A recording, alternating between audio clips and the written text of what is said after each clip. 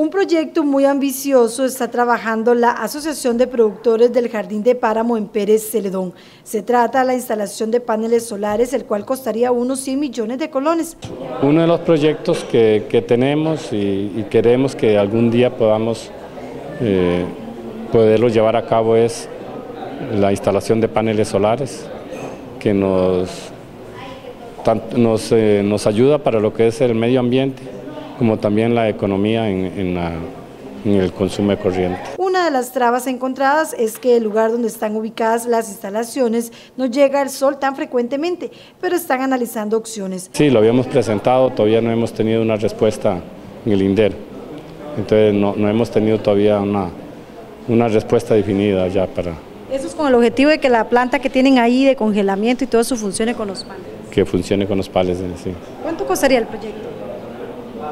Andaría ahí como cerca de los 100 millones de colones, así la, instalación de paneles ahí.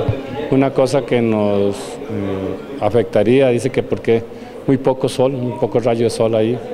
Entonces estamos viendo a ver qué posibilidades hay de tal vez instalar en una, en una partecita donde, donde sea el sol continuo, pero llevarla, digamos, los la energía a donde está el edificio. Con este proyecto, la agrupación esperaría en disminuir el gasto en electricidad.